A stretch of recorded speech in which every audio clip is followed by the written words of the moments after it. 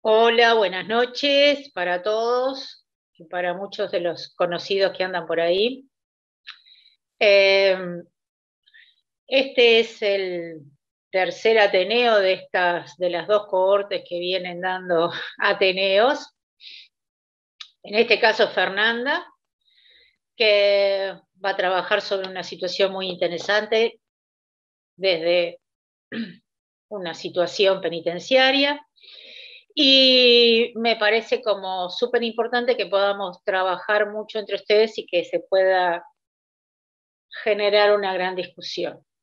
Como en todos los Ateneos, eh, planteo que justamente algo del, del hecho de que puedan venir todos, de las tres opciones de la especialización, más público en general, aquellos interesados en las temáticas, es lo que hace a esta situación rica.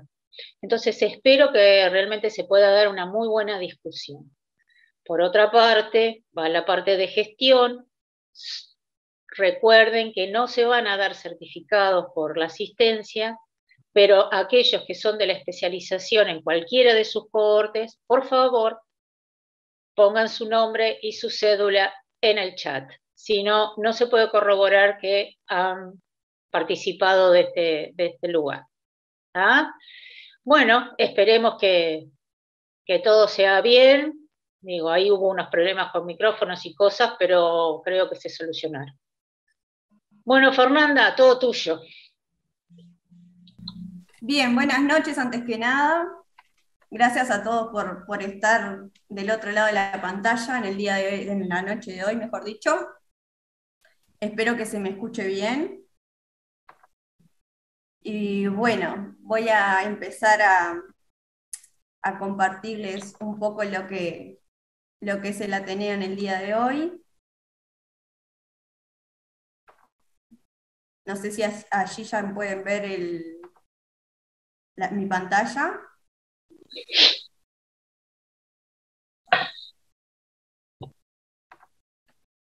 ¿Pueden verla? Sí, sí, se ve. Sí, Perfecto. Bien. El Ateneo que, voy a presentar le di a llamar lo que es privación de libertad, evaluación, intervención y líneas de fuga.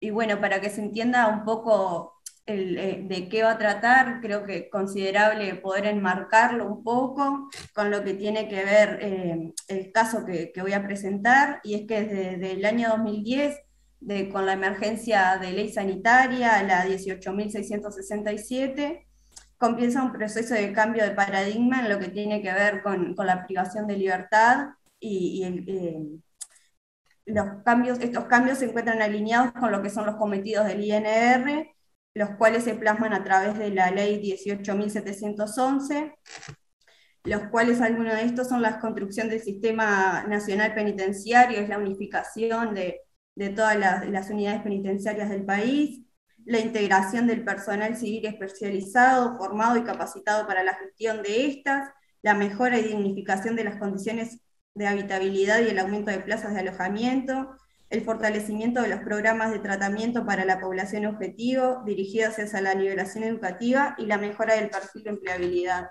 la inclusión sociolaboral, actividades deportivas, culturales y recreativas, el desarrollo de instrumentos de clasificación y diagnóstico de la población, como así también la generación de propuestas de intervención individuales, ajustada a cada uno de ellos, a cada privado de libertad.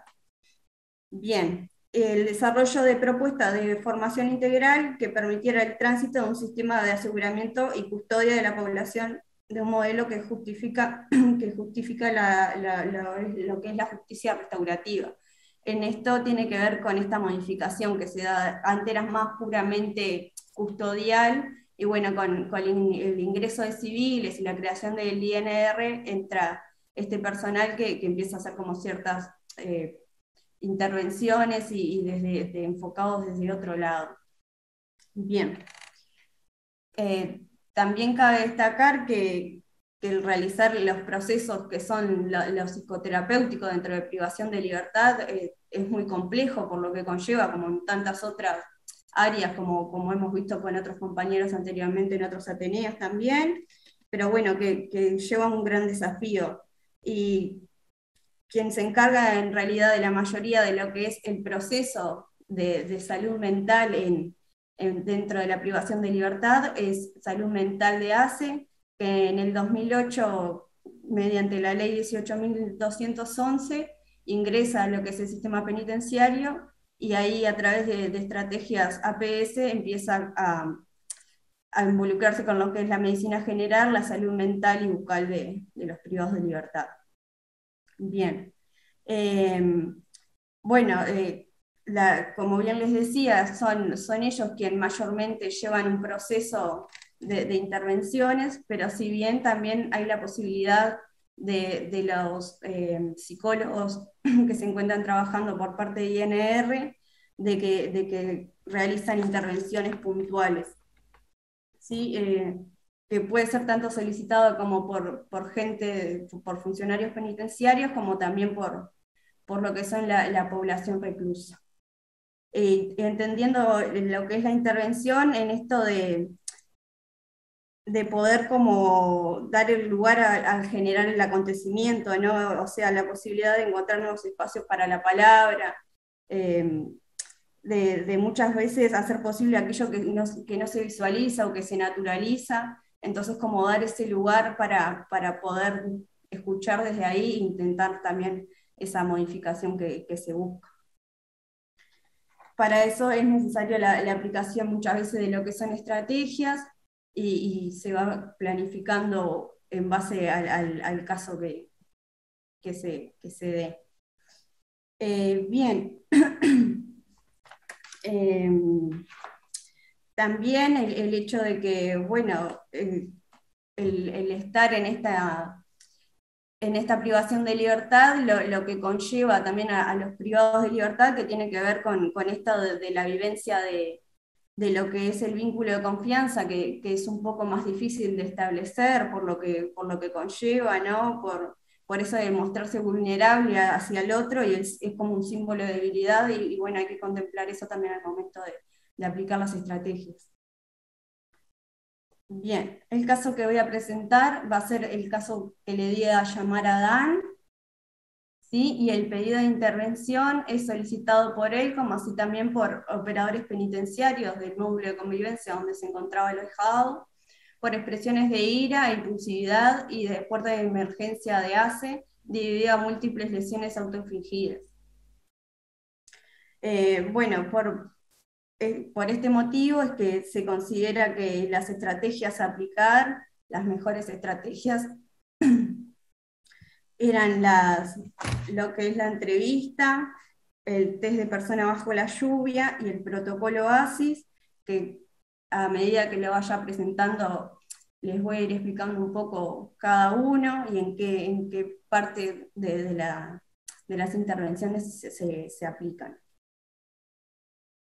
Bien, para presentar con lo que, empezar con lo que es el caso de él, eh, es un hombre de 30 años, soltero, tiene un hijo de 10 años, un consumo problemático de sustancias psicoactivas y alcohol en el pasado, sin vínculos estrechos, transitó gran parte de su infancia en instituciones por amparo y posteriormente en familia adoptiva que le ejerció violencia física y psicológica sostenida durante algunos años. Bien, en cuanto a lo que el objetivo de estas intervenciones era el disminuir la auto y heteroagresividad en un momento reducido, eh, por lo cual estaban estas estrategias que, hablaba anteriormente, que fue la, entrevista, el test de persona bajo la lluvia y el oasis.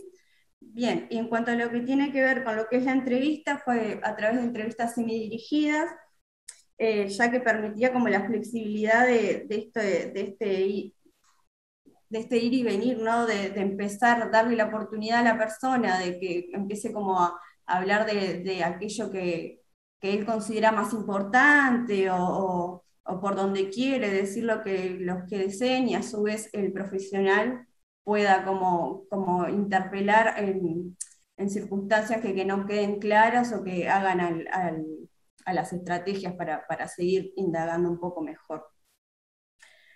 Eh, en cuanto a lo que tiene que ver con, Con la primera entrevista, Adán se puede observar bien orientado en lo que respecta al tiempo y espacio, mientras que su aspecto es desalineado, aunque con adecuada higiene y a simple vista se ven las múltiples autolesiones infringidas en sus miembros superiores. En cuanto a lo que es su postura es rígida y se mantiene distante, se muestra desconfiado y con un discurso verborrágico, alterado y poco coherente. Por momentos su mirada es como vacía, pero intensa, sostenida, intimidante, percibiendo cierta labilidad emocional. Tras consultarle los motivos de su solicitud de intervención, él verbaliza los sentimientos de tristeza, de hostilidad, de ira y de potencia, reconoce a los demás que tiene una conducta impulsiva y agresiva, tanto para él como hacia los demás, y el cual esta ha sido repetitiva y mantenida en el tiempo, lo que a su vez, sumado al tiempo de ocio negativo, hacía incrementar estos niveles. Lo que decía es que necesitaba una actividad laboral o algo porque si no pensaba demasiado. Bien, después con, el transcurrir de las entrevistas se comienza a dar un, mayor nivel de confianza y, entra como a contar su, historia de vida y eso permite también otro, otro abanico de posibilidades con la intervención. Bien, los datos relevantes es que es el único de cierto hermano que dejó, quedó en situación de amparo, eh, su madre decide este abandono el cual al momento de la entrevista todavía no se siente que no lo ha logrado superar. Dice, nunca entendí por qué todos mi madre solo de a mí y nunca me quiso. Eh, él después de adulto vuelve a, retomar el vínculo con esta madre y, bueno, sigue sin, sin, poder como ejercer este, este rol madre-hijo, lo cual también lo, lo vuelve como a, tornar a esta niñez que él no había podido superar y estas cuestiones que él se consultaba. Después lo que es respecto a su familia adoptiva, según su relato, era por intereses económicos. Él dice que, simplemente esta, esta, familia la adoptó porque percibía como cuestiones económicas que eran para el bien de ellos. ¿no? Y bueno, de que desde su infancia lo hicieron trabajar por muchas jornadas en, el área del campo, eh, que no tenía todas sus necesidades satisfechas y, que había como un descuido, que a los hijos propios de, esta familia adoptiva sí los cuidaban y los tenían bien, pero que bueno, que a él en, algunas oportunidades lo hacían dormir como en, galpones con, animales, que no le compraban ropa, sino que era la que le iba quedando de los, de los hijos y bueno, que en, otras situaciones, cuando se enojaban mucho, eh, le apagaban cigarrillos en el cuerpo.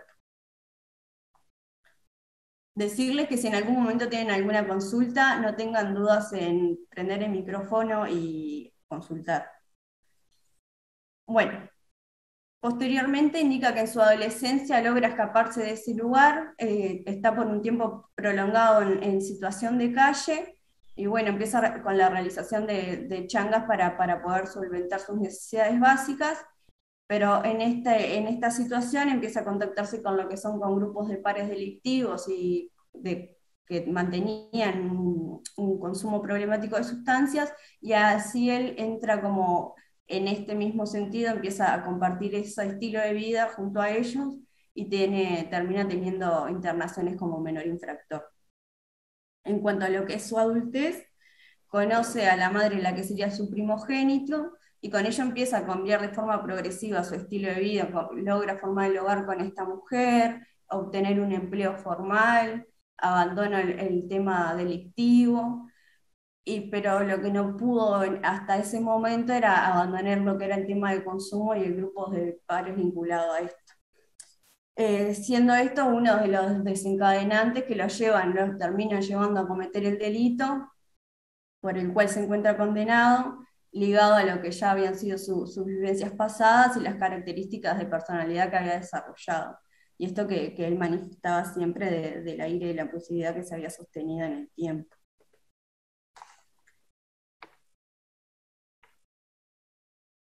Bien. En cuanto a lo que tiene que ver a su trayectoria delictiva, para que vayan entendiendo un poco mejor, eh, las internaciones estas como menor, como comentábamos, es reincidente como mayor de edad, pero hay que considerar que los delitos anteriores no tenían que ver contra la persona física, o sea, utilizaba la, la amenaza de violencia, pero no la ejercía propiamente dicha. Y indagando sobre el delito actual, el relato lo, lo, hace de manera justificada y lo minimiza no, sobre estos hechos, no, no, logra tener una empatía hacia su víctima y se percibe el impacto solamente hacia sí. Bueno, y, a pesar de, de, la gran escalada de severidad que, que tuvo, que en este caso sí era contra la persona.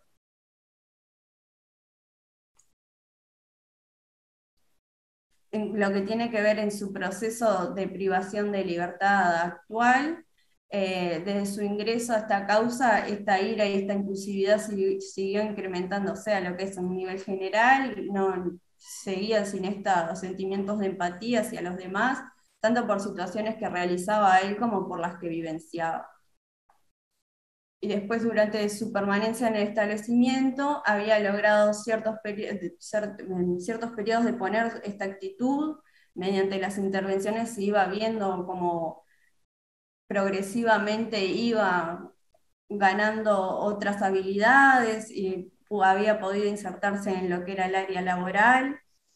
Y bueno, em, igualmente siempre siguió como esa demanda constante por parte de él hacia, hacia todo lo que era el funcionario penitenciario y en algunas veces eh, realizaba lo que era agresiones verbales y si bien después lograba como de poner esta actitud y, podía como reflexionar sobre eso, en, ese momento le ganaba la impulsividad bueno, en esto de que logró tener una comisión laboral, pero por estas dificultades que él aún seguían manteniendo de sus actitudes y sus dificultades de, supervisión, termina perdiéndola. En cuanto a, los vínculos que, él mantenía, era únicamente con su, su, hijo de 10 años, ya que con la madre de este había terminado tras el periodo de privación de libertad actual y él manifestaba también que con uno de sus hermanos biológicos, con el único que, mantenía contacto de, toda su familia primaria, digamos. Eh, bueno, para ese momento se encontraba asistiendo a lo que es salud mental, había sido visto por psiquiatra y estaba tomando psicofármaco porque otra de las cosas que relataba era el insomnio, que, también lo, le incrementaba este, este mal humor y, este pesar colérico que, muchas veces le sucedía. Bueno, y durante este proceso positivo él se encontraba en, procesado hasta ese momento, en calidad de procesado. Uno de esos días él es conducido para, ir a firmar su sentencia. Él tenía más o menos estimado, según él, qué tiempo de sentencia le, iban a dar pero bueno, la realidad es que cuando sale conducido este proceso, eh, la, sentencia en que le dan es mucho mayor a la que él esperaba. Y con esto empieza como de vuelta, retoma su postura agresiva, eh, no pudiendo sostener lo que era eh, su convivencia en, el, en el establecimiento y bueno, termina, se, hicieron como varias intervenciones más, tanto de, los psicólogos de INR como de salud mental y de las personas que, se encontraban en, el área de convivencia, pero él no, lograba deponer su actitud, por lo que termina siendo trasladado hasta, hacia, otro hacia otro establecimiento. Bien. Posteriormente, en lo que tiene que ver con, con la técnica gráfica que utilicé, eh, es, ya que el hombre históricamente para, para expresarse el, dibujo ha registrado, registra los sentimientos y acciones muchos antes que registra el habla, ¿no? Entonces, si bien él logra como manifestar ciertas cosas y hablaba luego de varias, pudo expresarse bastante, bueno, había como cosas que, que era mejor indagar desde ese lado. Y bueno, al, decir de Grasano también esto de que la producción gráfica revela la concepción y los conflictos inherentes al manejo espacial, a las funciones y al interior del cuerpo propio, así como también a las ansiedades y fantasías dominantes respecto al cuerpo de otras personas, constituidas a partir de las primitivas relaciones de objeto. ¿No? Y lo que tiene que ver propiamente con la técnica de persona bajo la lluvia, que es el test que se le aplica, tiene que ver con, con, este medio de proyección que puede mostrar los mecanismos de defensa que se instrumenta al momento de, someterse a situaciones de estrés. Si bien ya se encontraba con una situación de estrés por estar en privación de libertad, la mayoría por lo menos, eh, bueno, poder denotar o, poder indagar sobre otras cuestiones que, no se podrían haber sido dichas hasta ese momento. Es por eso que tras mantener algunos encuentros y, generar un vínculo de mayor confianza con Adán, se decide aplicar este test en búsqueda de poder indagar algunos aspectos de su personalidad más profundamente y cuestiones que hasta ese momento no, habían podido decirse desde la palabra, ¿no? Para, seguir generando estrategias de intervención. Eh, debido al caso la DAM y su demanda, la búsqueda en este test, al decir de Grasán, es permitir al psicólogo obtener poco tiempo información precisa sobre distintos niveles de funcionamiento mental, ya que posibilita observar los distintos modos de vinculación objetal, conflictos, defensas, ansiedades que dominan las relaciones del paciente. Eh, en esto del del tiempo que se tiene también, es bueno intentar utilizarlo y que una técnica que no fuera tan movilizante tampoco para, para, todo el momento que, él estaba vivenciando. ¿Sí? Bueno, acá está el test, que ese es el real, que no se ve mucho, pero bueno, quise dejar el original ahí. Y este es el que no sé si se nota allí,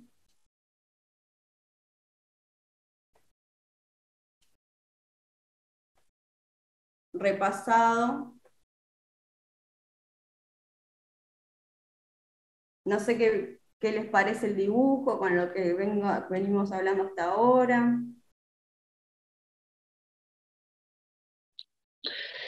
El que hay no se ve mucho, es muy pequeñito, muy tenue va.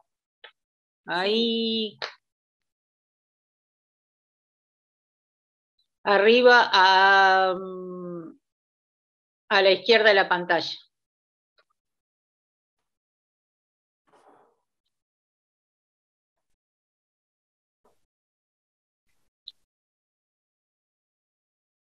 Ahí. ¿Qué les parece? ¿Qué podrían decir de este gráfico? ¿Qué les llama la atención?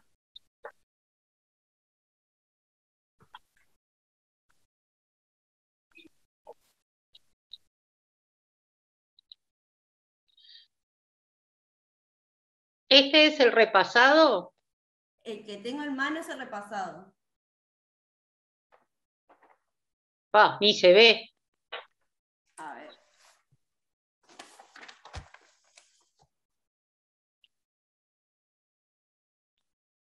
Así capaz. No sé si estamos viendo el PowerPoint, eso o. Se ve mejor ahí, sí, este, Fernanda, sí. Ahí capaz que con la luz, no sé si. le puse otro papel atrás para que se viera. Es un árbol y un paraguas, puede ser, arriba unas nubes, puede ser, y no sé si serán unas montañas o un suelo, algo así, puede ser. Sí. Como para capaz ayudar a los compañeros que no ven mejor. ahí, se, ahí se ve un poquito más nuestro, Gracias. Sí. Después está, bueno, está la, persona y el paraguas, el árbol con raíces.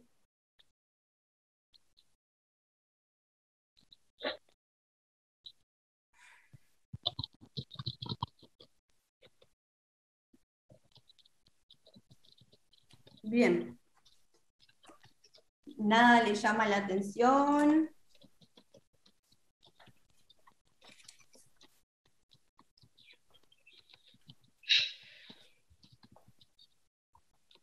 Bueno, los indicadores que yo encontré como relevantes, si nadie tiene nada para opinar, los separé como en niveles para que sea un poco más ordenado.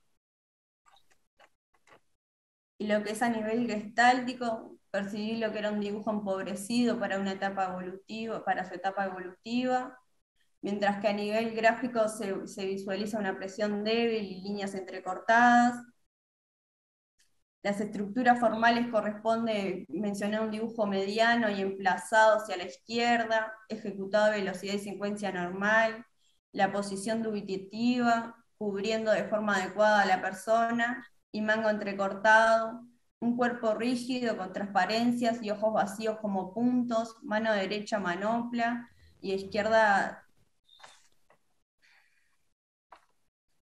tipo garra y los pies patos. Eh, eh, Fernanda.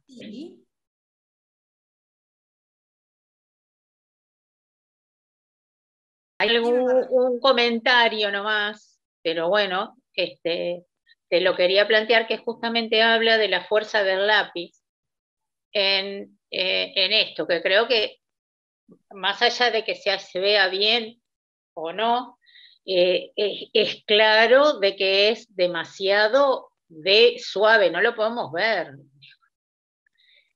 Eh, supongo que en persona sí se ve mejor, pero no lo podemos ver y, eso también hace a la cosa, ¿no?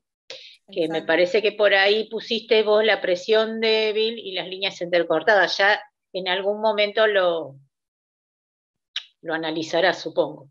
Pero este, es, como, como que eso es muy llamativo. Muy, muy llamativo. Sí.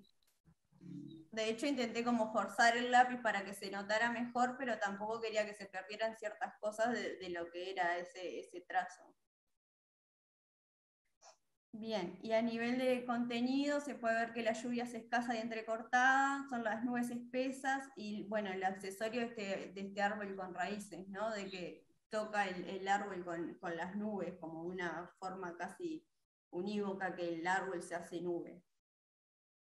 Bien, em, no sé si, también en esto que decías, Margarita, de, la importancia de lo que son los procesos defensivos, ¿no? que, supone comprender como estas fantasías subyacentes, el porqué, el para qué de las defensas, el monto, la calidad, el grado, cuando, cuando se presentan estos gráficos y bueno, la, variabilidad de, la efectividad que pueda, que pueda haber. Eh, no sé qué, les parece, qué proceso defensivo, qué, defensas utilizó en este caso, si les utilizó adecuadamente, más o menos por lo que se podía ver.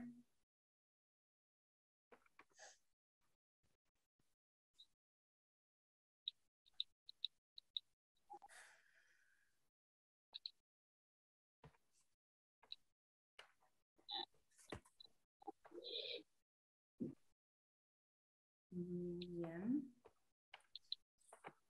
Bueno, no sé si les parece si les digo cuál fue la defensa que percibí yo, a ver si están de acuerdo. En el chat alguien plantea, Victoria, plantea la negación. Bien. Sí. Em, que bien, sí, los ojos vacíos, lo estoy leyendo. Estaría genial si pueden como hablarlo, es, como mucho más humano, pues si no. Pero sí. Eh, una de, de las cosas que, estábamos hablando, ¿no, Margarita? También era esto de, la llamada atención de, este trazo tan débil, de, los ojos que son como puntos, pero que se hacen como rayitas, de esta, de esta nariz que, se agudiza y, del cuerpo, de la rigidez de, ese cuerpo que, dibuja.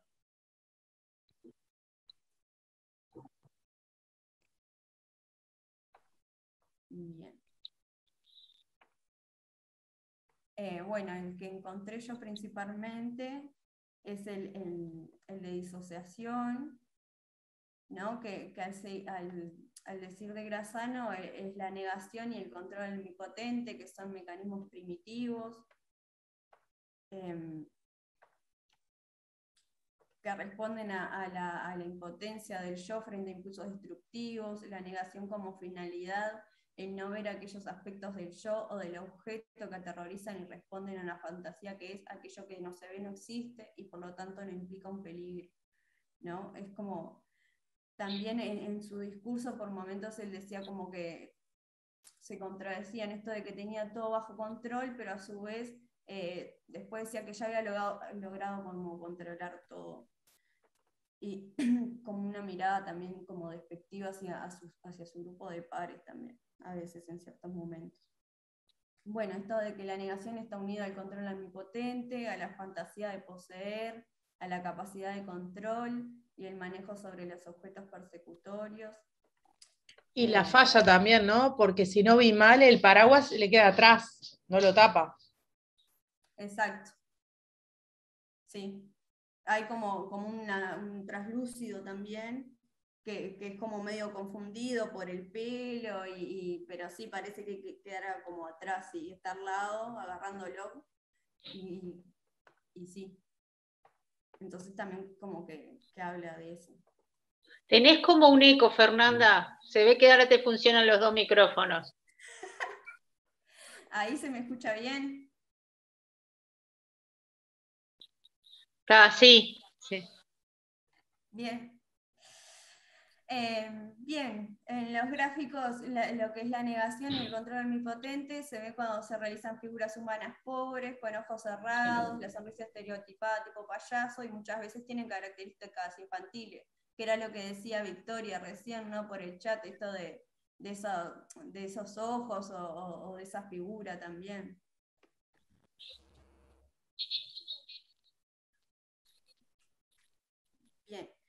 Eh, no sé si quedó alguna duda hasta acá. A mí algo que me llamó la atención, no sé si está dentro de los indicadores que, tú estás como señalando, pero algo que me llamó pila la atención es cómo el suelo está partido, ¿no? Que como que son dos lomas. Y, el dibujo de la figura humana, o sea, la, representación de él está del lado izquierdo y del lado derecho hay un árbol que no se, no se pide, digamos, en la consigna, ¿no? Entonces, eh, ¿por, qué aparece ese otro objeto? ¿Qué significa? ¿Por qué está al lado, digamos, del futuro? O no sé. Tengo poco conocimiento de, de me, da como una sensación de que hay un quiebre en la historia de la persona, ¿no? Y como este árbol también que contacta que va hasta las raíces y después como que vuelve a, en su copa, conecta con lo que son las nubes, como dividiéndose, ¿no? Entre, entre esto, como entreverado entre lo que es nube y, y lo que es copa.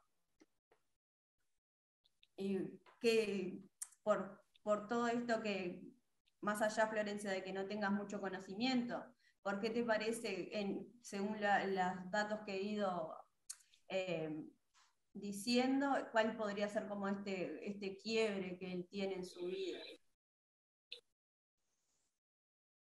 Y son varios quiebres, ¿no? Durante toda su historia desde el abandono de su familia de origen, luego, bueno, los, múltiples, mm, las múltiples situaciones traumáticas que ha habido esta persona y por último, bueno, la privación de libertad, que es lo que está viviendo actualmente. Este, pero me parece que, todo, o sea, como que viene desde la primera infancia esa vivencia de, de quiebre que quizás tenga que ver un poco con la disociación, ¿no? Es que creo que, ha sido un mecanismo que ha ejercido como siempre en él esto de la disociación desde, desde, la, desde la, niñez y que bueno, que cada vez se, ha ido como incrementando más en su vida y también con lo que tiene que ver con respecto a su delito, ¿no? el tema del consumo problemático, que si bien para ese entonces él, menciona que ya lo había abandonado. Sí, Margarita. No, nada, nada. Bien. Buenas escuchan? Se escucha lejos, pero se escucha. Ah, sí, porque me andan medio mal los auriculares. Y yo entré un poquito más tarde y no pude ver el dibujo, entonces estoy como media perdida. Me gustaría y se puede ver. Ah, Mm. está en, no está en la diapo, está en... ah, Qué pregunta. no, no veo, menos veo. Este es el que se ve más claro, este es el que repasé. No sé cómo hacer para ponerlo más grande. Porque veo la diapo y veo cuadraditos chiquitos, está ya era.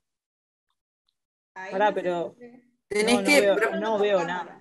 ¿Qué probá a cliquear en la, en la pantalla de, de Fernanda, así se te agranda la, la parte. en- No, me pone la. Ella está compartiendo la pantalla, lo que pasa. Pero yo te- lo tengo en la mano acá al, al dibujo. Sí, pero a mí me aparece la, eh, en, en grande la, la diapo que estás compartiendo de indicadores relevantes y en cuadraditos chiquitos a la derecha la- los participantes. Entonces vos te ves también como, como chiquita. Y imagínate que el dibujo más chico todavía. Hace doble clic encima de la imagen de Fernanda. Parate arriba de la imagen de Fernanda y hace doble clic con el mouse y te abre la pantalla de ella. Estoy en eso, no me deja. Bueno, capaz que puedes sacarle una foto y mandarla al chat o ya era, no sé. No. Veo una loma Sí. y veo una persona como con el cuerpo remarcado. Es todo uno, es como palito pero grueso Sí, y un paraguas bien en contra de la cabeza. exacto. Eso es lo que más se ve, lo otro no veo. Esto no Que en realidad en el dibujo original es así, la persona es lo que más se ve. Ahí lo agrandé un poco más. A ver si me deja. Allá se lo voy a hacer. Ahí va, ya logré. Ah, pero me lo. A medida que te agrando la pantalla, se ve menos claro. No, no, no veo bien. Veo un árbol también, como que es un árbol. Y además Sí. porque dijo flor recién, si no tampoco. Y nubes arriba, puede ser. Sí, toda nube, todo acá arriba es todo El nube. árbol pegado a la nube, como que es todo uno. No está, como que no está conectado con la, con lo terrestre, con la realidad, es como que. ¿me- ¿Se entiende lo que quiero decir? Sí, y a su vez tiene como las raíces para abajo después. de ¿Tiene raíces? acá. Sí, Ah, no- se ven. raíces. Acá, a ver, ahí. Son No, no. No las veo. Ahí, ahí las vi, ahí las vi. Son largas. Sí. Y, a su ¿Y vez cuántos la- años tiene esta persona? 30 años. Ahí va. ¿Y tiene, y tiene el árbol tiene ramas adentro? El árbol sí tiene como todo ramas entrecortadas acá. Ahí va. Ahí, ahí las veo. Me llama la atención eso, que el árbol está unido con las nubes. Exacto. ¿Y qué podría ser? ¿Qué...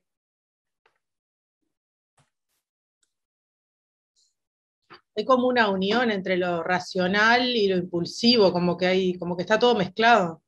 Mezclado. ¿Qué contacto con la realidad tiene, tiene esta persona?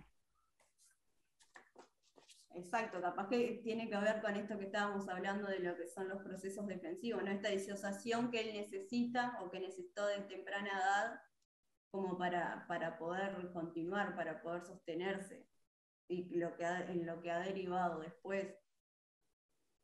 Está como tormentoso también, las nubes son grandes, ¿no? Exacto. Como que, son grandes y como, como que lo aterrorizan. como, como que está, está, está preso de esas nubes. Exacto. Y la lluvia, miedo. aunque no se vea, llega hasta acá, hasta el árbol. Hay Después lluvia. del árbol no hay lluvia. Capaz que ese árbol es la meta. Es la salida del futuro, puede ser, de él. Capaz que de ahí ya, ya, ya se ya puede ver como con más claridad. si No hay lluvia. Puede ser algo. Es- Hay un corte, son dos colinas bien diferenciadas. Sí, Y el árbol tiene raíces en el lado, en el lado del futuro. Como exacto. que más estable, más agarrado. Sí, pero hay transparencia. Hay una ¿Hay transparencia. Sí, porque no son raíces que sobresalen de la tierra. Hay un corte de tierra y las raíces aparecen abajo. No sé si estoy viendo bien, ¿eh? A ver, Sí, sí, está bien, sí. ¿cómo, cómo? Claro, que vos tenés el árbol, después tenés Sí. la línea, la línea de la tierra, y abajo Sí. tenés las raíces. No son raíces, viste esos árboles que tienen tronco fuerte que ves las raíces, los árboles reales, te digo, que vos ves las raíces por fuera de la tierra, Sí. que a veces sale, bueno, en este caso no, en este caso vos ves, la- ves el corte, o sea, como la parte donde estaría plantado el árbol, la tierra, y abajo Sí. están las raíces. Eso es una transparencia. Es verdad. Pero las transparencias, eh, cuando se analizan en las técnicas proyectivas, ¿se analizan también en este sentido de los árboles o solamente si son transparencias como por ejemplo de partes íntimas del cuerpo? Eh, Yo entiendo que en todas las transparencias, o sea, la, trans- la transparencia es transparencia donde sea. Donde sea. Después, ¿qué no significa en tenía muy cada claro. caso? Es otra cosa, pero en realidad es una transparencia, te está mostrando que hay algo ahí que está fallando.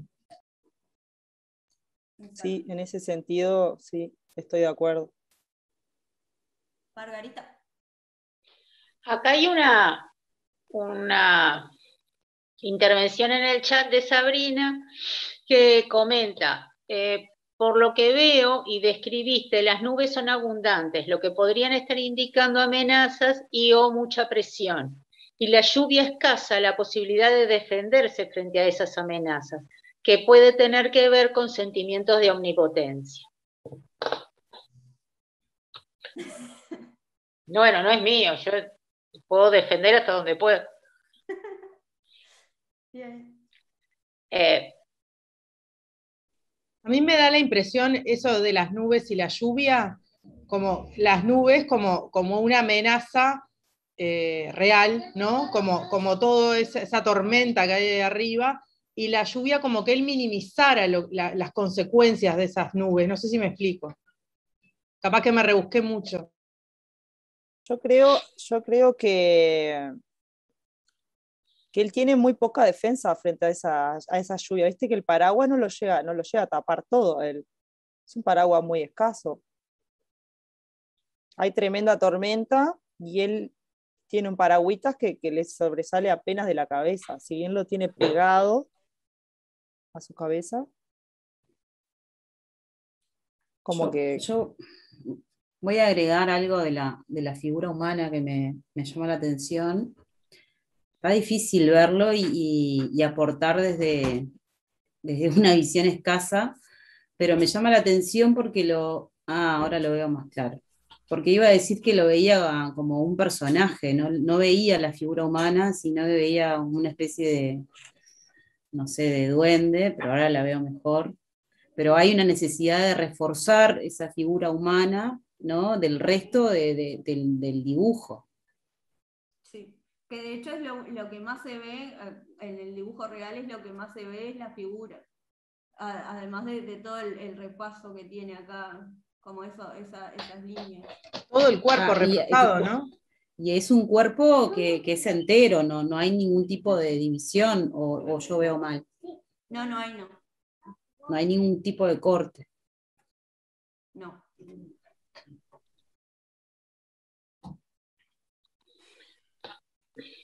Puede ser que esté como sonriendo las comisuras, así como que puede no estar ni recto ni triste, ¿no? Está como. Sí, está como tendiendo ahí a reírse. ah, la- Fernanda, ¿vos trabajaste en la unidad 1 o la 6? bueno, bueno, bueno, bueno. Otro día, otra hora, estamos por YouTube.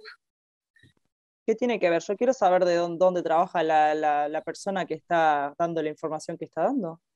Sí, pero puede ser que la persona de la que está hablando esté en ese lugar o no, no sé, pero no importa. Digo, que pueda ser reconocible por otros. Pero Estamos no, está dando tratando ningún de- da- no está dando ningún dato eh, específico como para ubicar a una persona. Estamos analizando una técnica proyectiva, un dibujo. Bueno, como ustedes quieran. Me parece Pero pregunta- yo prefiero guardar siempre las mayores reservas posibles. Sí, todo bien, pero me parece que no, que no, que no va por ahí. Si no se puede hacer una pregunta de ¿Sabes este qué? tipo, Sabes, Macarena, que como, como funcionarios públicos no nos permiten dar mucho dato de eso. Estamos en YouTube, como te dijo Margarita. Si querés mandarle mensaje por privado, que ahí no sale. tengo No hay problema ninguno que entre ustedes se comuniquen. No, tengo ¿Puedo hacer una, una pregunta ignorante? Porque la verdad que soy este, bastante nuevita en todo esto. Eh, Fernanda, el, el tema de- del paisaje, el árbol y todo eso, ¿puede estar también relacionado con, con la vida de él, ¿no? La infancia, que él se crió en el campo con esos padres, digo, eh, la naturaleza y eso, ¿puede estar relacionado algo de eso? Bien, eh, ¿en qué sentido lo, lo pensás tú?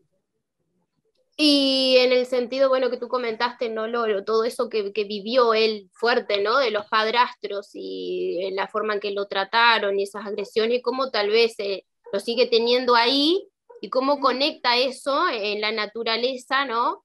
Mostrando como ese, eso que decían los compañeros, lo de las nubes y todo eso que, que tal vez son cosas que están ahí, pero que él se está defendiendo como poquito con ese paragüita, ¿no? Eh, y cómo eso, eh, obviamente, tiene sus consecuencias este, en su presente vida, ¿no? Es como que veo las raíces y eso como en su pasado, su vida, lo, el pasado, me explico, y cómo eso en realidad es entero, como que en el futuro sigue estando presente, no sé si me explico. Repito, disculpen mi ignorancia a ti y a todos, porque soy muy nuevita en esto, No, pero nada, es solo una consulta. Gracias. Bien. eh, o sea que tú lo que referís es que quizás tiene que ver esto de- del pasado que tuvo en su infancia, el hecho de, de que vuelque en el dibujo el, el- la- como el árbol y esto más de- sobre lo natural. Claro, sí, eh, eh, más o menos. Capaz que podía estar un poco asociado. Bien. Digo, sí, capaz que tiene que ver o no, no sé bien cómo se analiza esto, por eso te, te consulto si es que en realidad puede suceder en este tipo de cosas, en este tipo de, de análisis, que una persona este, involucre ¿no? ese pasado con lo que está viviendo en ese momento que tú le solicitaste el dibujo. Como lo que ha sido con su historia de vida, decir Exacto. que lo pueda como plasmar. Exacto. Sí, y hay, y hay que ver cómo él lo, lo- lo trae, en, en- en- si fuese como en ese sentido, cómo él lo trae a- a colación acá, ¿no? Cómo lo percibe él a nivel general, digamos. Bien. Eh, hay un montón de cosas acá en el chat Sí, que quisiera poder claro. La persona que habló, Sabrina, que había hablado de la, para que lo amplío, así lo puedo ver mejor, Eh, que había hablado de la omnipotencia, de sentimientos de omnipotencia, después parece que lo pensó y dice, o, control omnipotente, mejor dicho. Después está Rubén, que plantea, puede ser que el dibujo de la persona tenga un remarcado que hable de los aspectos más impulsivos. Eh, te lo pregunto también porque vos después estuviste redelineando el dibujo. Eh, pregunto porque no lo veo bien del todo. ¿Podrían darse aspectos más regresivos asociados al dibujo de la persona? Por otro lado, el dibujo de la persona, las manos puntualmente, no, tiene, no tienen cinco dedos, parece como mano guante. Y los pies muestran aspectos ambivalentes, a mi entender. Quizá esa lucha interna que pueda tener que ver consigo mismo. Es una idea. Genial. Por ahí van los aportes desde el chat. Bien.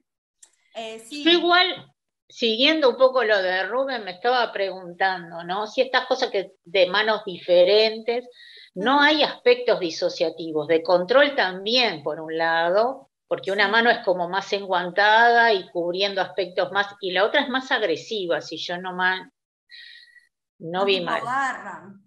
Ahí va. Mm. Eso me lo pregunté.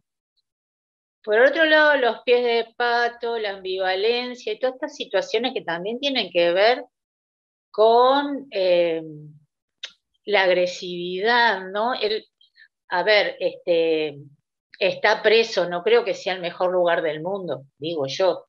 Entonces, eh, más allá de la agresión que él ha recibido durante toda su vida de una forma u otra, este, también vive en continua situación de agresión. ¿no? O encerrado, no, no, no, es libre, digo, ya con eso nomás ya, ya es bastante. Este, eso por un lado. Está, nada más ahí un poco ayudando a los, del chat. Bien. Eh, sí, tiene que, eh, lo que preguntaba Rubén en, cuanto a esto, sí, el, el dibujo es como muy estrecho, pero a su vez en el después en el medio es como dibujado, repasado varias veces. Y, los pies sí, es como que uno está mirando para, cada lado. Y, yo creo que, tiene que ver con, este un poco el análisis que, que él lograba hacer y que vos, Margarita, aportabas esto de, la mano también, de tipo ver. Y después acá el, quizás como el poder contactar con, con el afuera, esa, esa, ese, no poder agarrar tampoco esa tipo manopla de, esa dificultad del contacto mm. con el exterior. También hay otro, otro chat de Marcela, que comenta que la ausencia de las vías de paso también indican el pobre control de impulsos. Totalmente, que va como muy en la línea ¿no? de, esto que, se viene planteando de esta persona hasta, hasta el momento. Sí, y a su vez el vacío, ¿no? Interno. Totalmente. Bien si les parece, puedo seguir adelante con, la, otra estrategia que es el oasis. Bien. Bueno, en cuanto a lo que es el protocolo OASIS, que es Sistema de Evaluación del Ofensor, es una herramienta que permite realizar una evaluación estandarizada de riesgos y necesidades de quien comete el delito brindando información relevante para la confección de un plan individual de tratamiento a la vez que permite gestionar el riesgo de daños. Se aplica a todas las personas que ingresan al sistema penitenciario y a este respecto Bonta y Andrews expresan esto de los objetivos de los sistemas correccionales que plantean que eh, apunten a reducir lo que es la reincidencia del infractor entonces, para eso hay que asegurarse de que se tenga una forma confiable de diferenciar a lo que son los delincuentes de bajo riesgo con los de alto riesgo con el fin de proporcionar el nivel de adecuado tratamiento. ¿no? Entonces, como a mayor riesgo de reincidencia, mayor, eh, mayor intervención. Es como en, función de eso es que se, se aplica este protocolo al ingreso al establecimiento con el fin de poder eh, brindarle un, plan individual de, trabajo para la persona. Eh, bueno, este, esta herramienta también está basada en la evidencia y se fundamenta en el modelo de riesgo, necesidad, responsividad e indaga sobre factores de riesgo tanto estáticos como dinámicos de la conducta delictiva. Está compuesta por, por 12 subescalas, que son la información y análisis del delito, que es la, primera y la segunda, que es lo, más estático, la, información estática que se recoge, eh, que eso quiere decir que, no, va a variar de un momento al otro, sino que en, contrario a los otros, a los dinámicos sí pueden variar, ya que la durabilidad de esta aplicación son de un año y luego se, evalúa el proceso si, si hubo eh, cambios en esta persona o no. Eh, los, otras subescalas son el contexto socioambiental, la educación, capacitación y empleabilidad, el manejo económico, el relacionamiento familiar y de pareja, estilo de vida y pares, uso problemático de drogas, uso problemático de alcohol, bienestar emocional, estilo de vida de, pensamiento y comportamiento y actitudes. Y bueno, también tiene que ver, dentro de, cada subescala se, eh, se subdivide en ítems que es entre 0 y 2, que 0 es que no se haya ningún problema, 2 algún problema y 3 como problemas y dificultades más severas. En base a eso y a la evidencia, por ser un, protocolo que, es, de la corriente de lo que es lo cognitivo-conductual, que es, lo que se aplica dentro de la privación de libertad, la corriente que, se realiza desde allí. Bien. Em, Dicho esto, no sé qué, creo que se nota un pero no sé qué subescalas le parece a ustedes que en este caso podrían dar como ascendidas.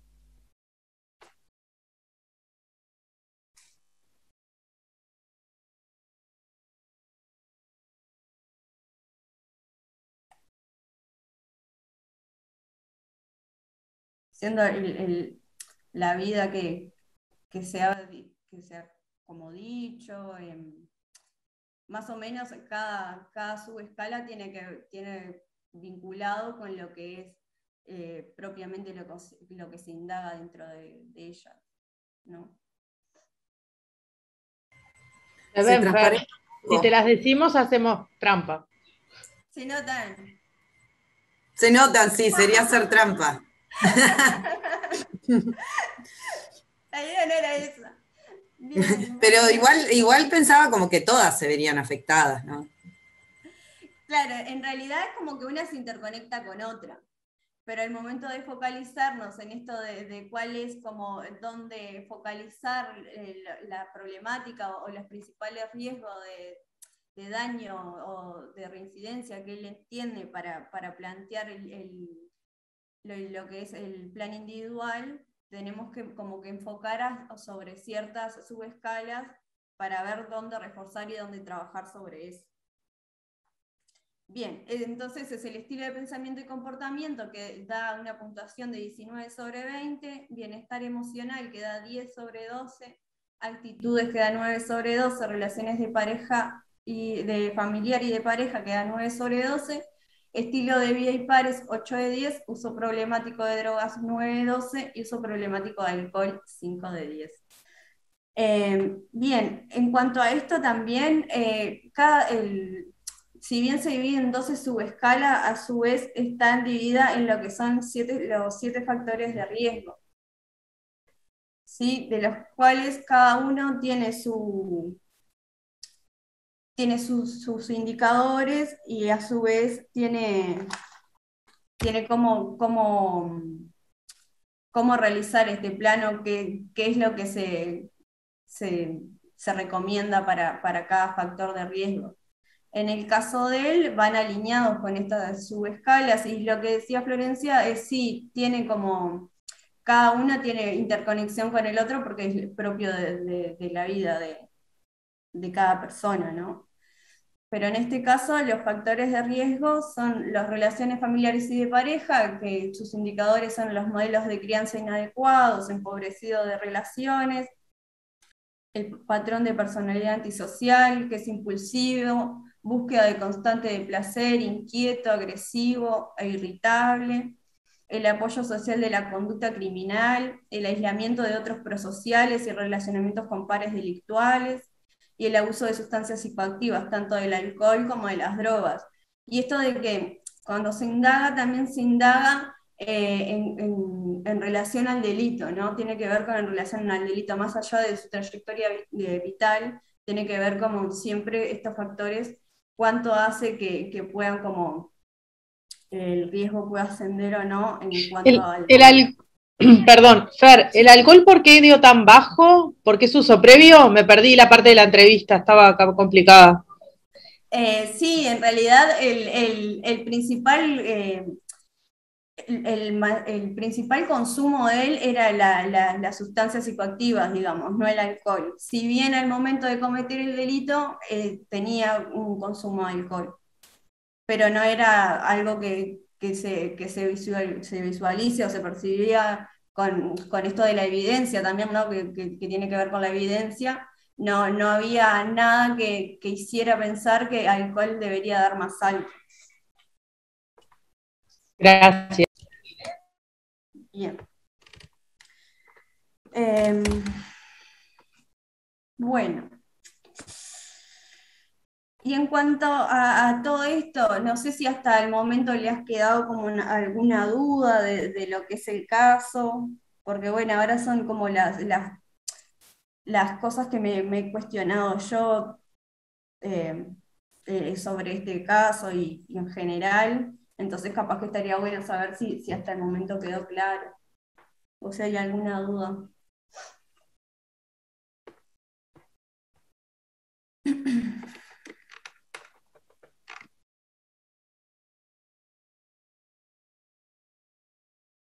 Bueno. Bien. La principal interrogante que me hago es esto de si aplica lo que es el discurso re ¿no? ¿Qué quiere decir esto? Es de, desde un posicionamiento crítico, de, de, un análisis que comprende dejar de lado lo que son tales como la rehabilitación, la reinserción, la resocialización, ya que esto implicaría la, eh, la búsqueda a un estado anterior, pero que en este caso llevó a lo que es la privación de libertad. ¿no? Entonces, bueno, eh, sucede esto, ¿no? Es como repetir este proceso para, para, para, intentar volver a algo sin tener en cuenta las nuevas dimensiones que se pueden ir, que se pueden ir sucediendo en, lo que es en el ámbito de, la privación de libertad.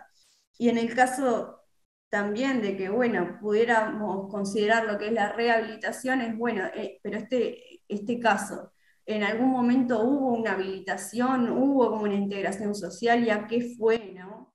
Es como, como esas cosas que, que me quedan resonando. No sé qué les parece a ustedes.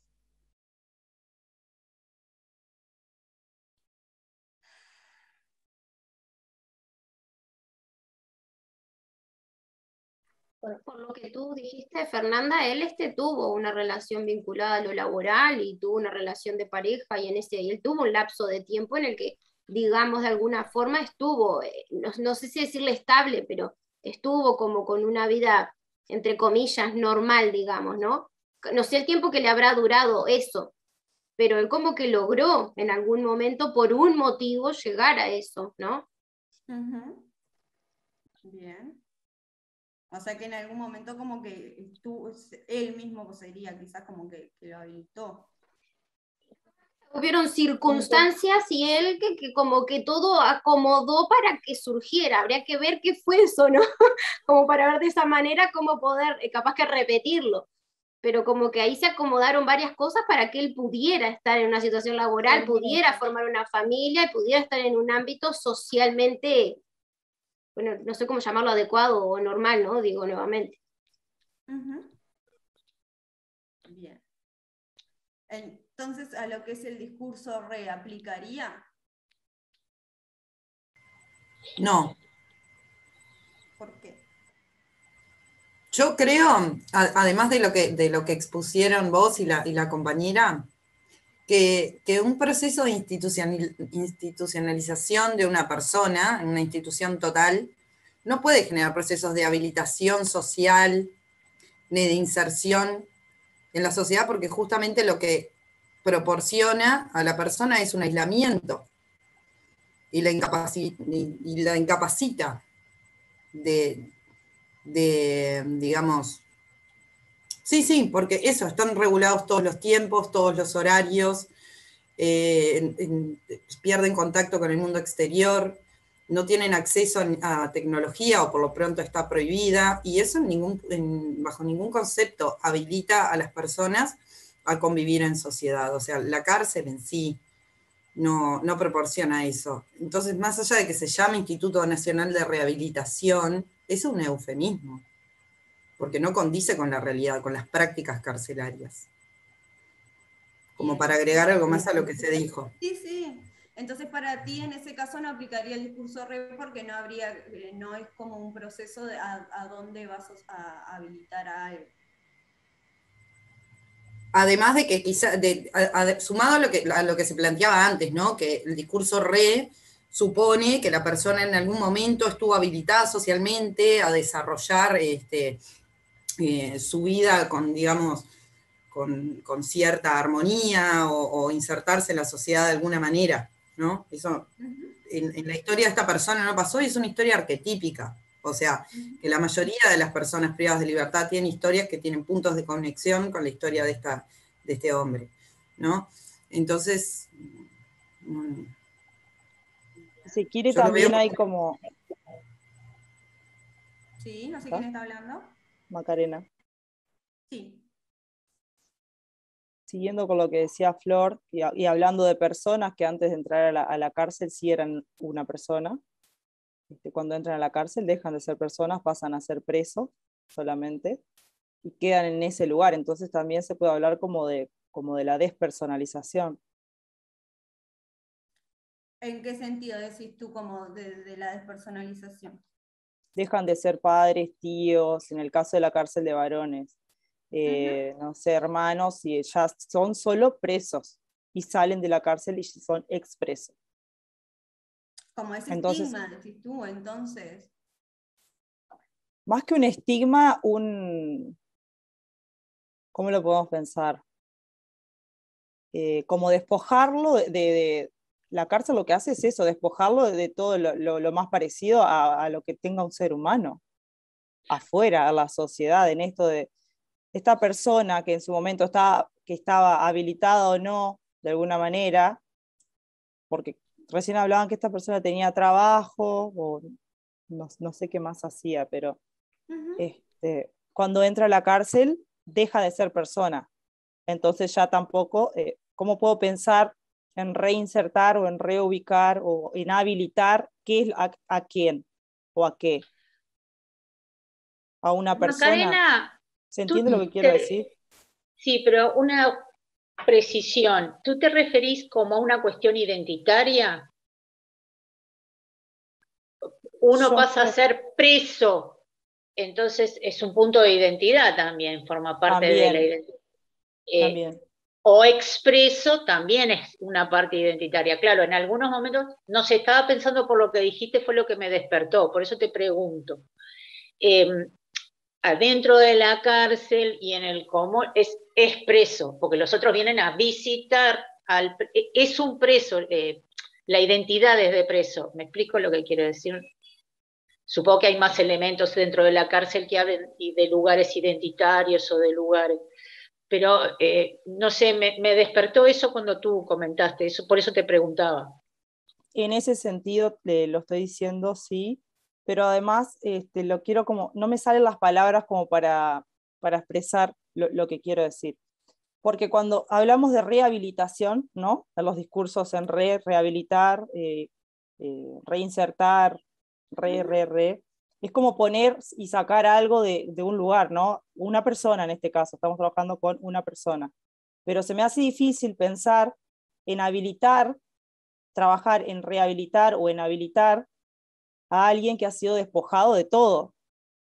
Entonces, eh, ¿con quién se piensa que, que- que estamos trabajando? ¿Se entiende ahí un poco mejor? Sí, pero ¿cuál sería el despojo? El despojo que hace la cárcel le saca la identidad, por ejemplo, ¿Qué O sea, la identidad que traía, si era, no sé, un padre, un tío, un hermano, un amigo. En el momento que deja de ser todo eso, o sea, que en el momento que es preso ya no es más, no es más todo eso, todo lo otro. Pero ¿por mí, a mí, perdón, perdón, a mí me cuesta pensar así en términos de no persona. eh, estoy de acuerdo en algunas cosas que algunas instituciones este, son difíciles, ¿no? Y, y- que la privación de libertad, hay ciertas privaciones, pero me cuesta como psicóloga, como profesional, este, pensar a una persona y una estrategia como no persona. O sea, está bien que estamos atravesados por, por instituciones, pero me cuesta, si lo pensamos desde ahí, entonces no trabajo con esta persona, no, no diseño ninguna estrategia. Entonces me, me cuesta, me cuesta muchísimo pensarlo desde ahí. Estoy de acuerdo de que, que sí que son instituciones súper difíciles para trabajar este, y para la persona que está en esa situación. Eh, pero si no nos quedamos como con poca alternativa de pensar otras cosas para hacer, y nada, me, me cuesta muchísimo pensar en no persona. Está atravesada esta persona por múltiples violencias de, de mu- de muchos años, ¿no? Desde, desde su infancia, donde también hubieron otras instituciones de privación de libertad. Este, tampoco sé mucho de, de- esta institución como para pensar qué tipo de estrategias se pueden armar, pero sí es necesario trabajar este, con otras instituciones, ¿no? No solamente es la cárcel, sino qué otras redes se pueden armar. Eh, pensaba en, la familia de esta persona, aparece el hijo como una figura ahí, la más fuerte, diría yo, y un hermano este, que, que está de forma muy intermitente, de forma telefónica. No sé qué es lo que le espera afuera y qué cosas se pueden armar como estrategia para pensar este, otra alternativa diferente a la privación de libertad. Pero nada, quería plantear que si, si no es eh, se me hace difícil pensarlo como estrategia, como profesional para trabajar. Exacto. Sí, Margarita. Voy a leer algo que está en el chat. Eh, ahí se me fue. Ah, Magdalena comenta, igual en Uruguay con la ley de humanización de cárceles se cambia la terminología justamente por eso. Se habla de unidades de internación y de personas privadas de libertad. Y de pensar que no es de todo, lo único, que se priva es del derecho a la libertad de circular, en teoría. En realidad se pierden más cosas y hay muchas diferencias entre las diferentes unidades. Eso es lo que se plantea en el chat. Y después hay alguien que tiene levantado la mano, Derrick. Eh. Dijo, me cambió el nombre. es Derrick Karen, en realidad sería Karen Derrick, perdón. Yo estoy un poco eh, de acuerdo con las dos compañeras, creo que fue Silvia la que habló y Macarena, si no me equivoco. Creo que hay cosas, o sí, creo que fue Macarena Florencia, no sé cuál habló, perdón. Eh, hay cosas que en realidad estoy de acuerdo, creo que hay cosas que se pierden, pero se pierden como comentaban los, los otros compañeros porque la institución carcelaria no está tal vez preparada como para eso. Ahora, aplicando el discurso de la rehabilitación, lo que me queda en duda, eh, si lo estamos planteando en el sentido de, eh, en este momento, ¿no? que le está transcurriendo dentro de lo que es la cárcel, o también ya dentro de la sociedad. Me imagino que debe de ser las dos, ¿no? Estás hablando de aplicar la rehabilitación en los dos sentidos, ahora y cuando él tenga la libertad, ¿no? Es que te me adelantaste un poco, pero sí va como en función de eso. claro, sí, eh, nada, yo personalmente digo, obviamente no, no tengo la licenciatura en psicología, estudio, es un tema que este me, me, me involucra mucho porque personalmente en mi experiencia tuve familiares en la cárcel, entonces conozco internamente lo que es el ambiente, entiendo perfectamente lo que comentaba la compañera, pero sí eh, también estoy de acuerdo de que si no hubiese una posibilidad de rehabilitación, no, no se podría, no podríamos ni siquiera encarar la posibilidad de trabajar con ellos, ¿no? Porque es un tema social, es un tema que, que viendo la vida que, que esta persona tuvo, digo, hay que estar en esos zapatos, en esa piel y ver qué posibilidades tenemos de poder ayudar a esa persona.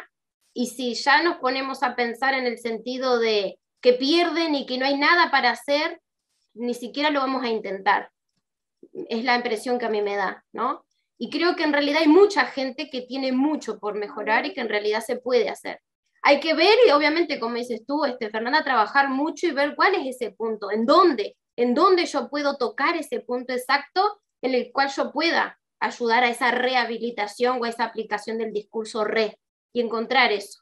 Pero no me parece que porque esté preso pierda la identidad ni pierda. Eh, yo tuve a mi padre preso y te puedo asegurar que mi padre siguió siendo padre, siguió siendo tío, siguió siendo hermano, siguió siendo abuelo, no lo perdió, más allá de las situaciones que haya vivido.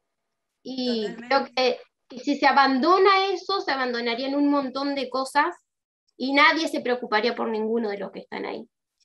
Y como que no, no habría que perder eso, digo yo. Exacto. Permiso, buenas noches.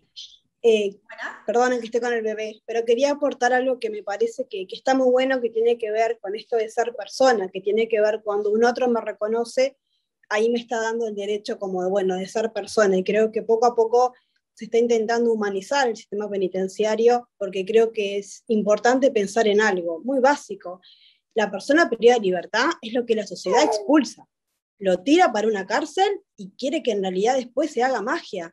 Cuando es verdad, viene un sujeto con 18 años en lo que es la parte de mayores y en este discurso del rey, anteriormente a estar privado de libertad con 18 años, tuvo que haber intervenido el Estado, tuvo que haber intervenido base, primaria, secundaria, y no estuvieron o estuvieron de una forma distinta, pero se intenta trabajar con lo que la sociedad expulsa y lo pone en un lugar con cuatro paredes enormes y que los funcionarios y las personas intenten modificar algo. Y creo que uno dignifica, aunque les parezca mentira, el hola, buenos días.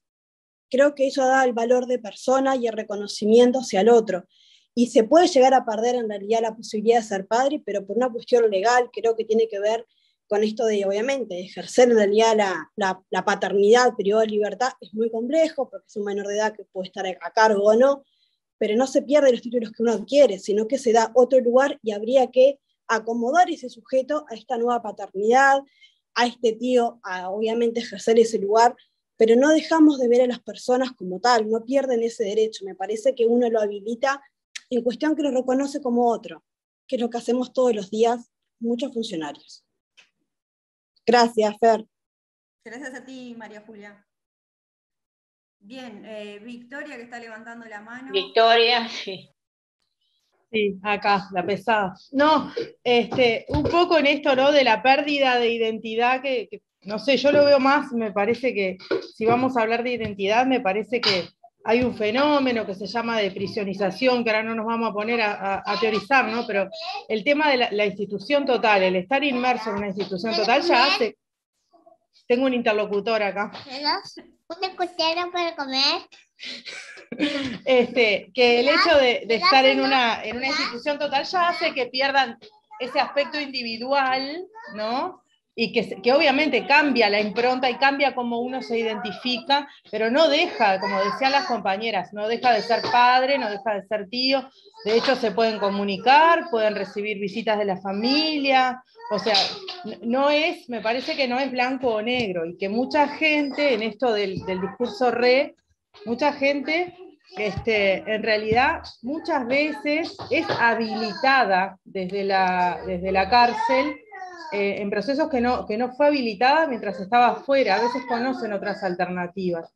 Y eso me parece que también es importante, ¿no? Si bien se pierden un montón de cosas, también a veces se descubren otras, y me parece que, que, que, como, que no es blanco o negro, me parece que hay muchos colores y muchos grises en esto de la privación de libertad y de cómo la persona llega a donde llega y cómo sale y qué se encuentra cuando sale.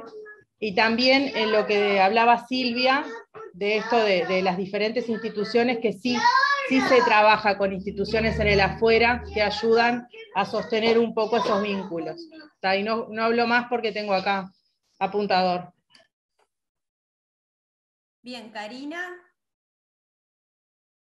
Buenas noches. Eh, yo me, quedaba con, con una este, duda si era en la aplicación de persona bajo la lluvia, eh, había, se había generado alguna historia o había podido, ¿no? Como este, eh, elaborar una historia sobre, sobre ese personaje.